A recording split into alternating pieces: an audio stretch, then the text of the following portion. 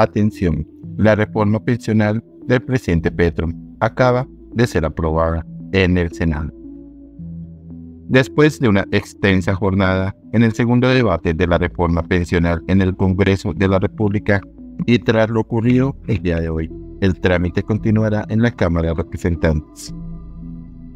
En la sesión se aprobaron 19 artículos del proyecto de ley. Con base a lo anterior y según indicó el senador del Centro Democrático Esteban Quintero, en la plenaria del Senado de la República se aprobó la reforma a las pensiones. Para el año 2070 no habrá forma de responder por las pensiones de los que son jóvenes. Esta reforma no protege el ahorro a los trabajadores. Desde el Centro Democrático estuvimos siempre firmes defendiendo a los colombianos.